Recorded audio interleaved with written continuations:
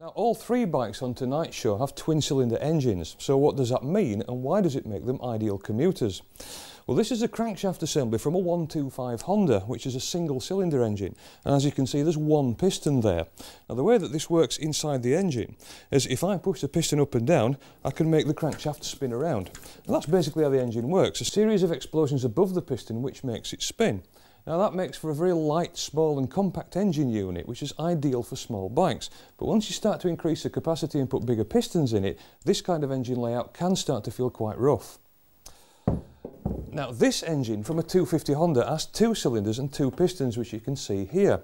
The advantage of a twin cylinder engine is it runs much more evenly and the bike can feel a lot smoother to ride. It's still a nice small compact engine unit, it hasn't grown too much so it can make an ideal middleweight commuter.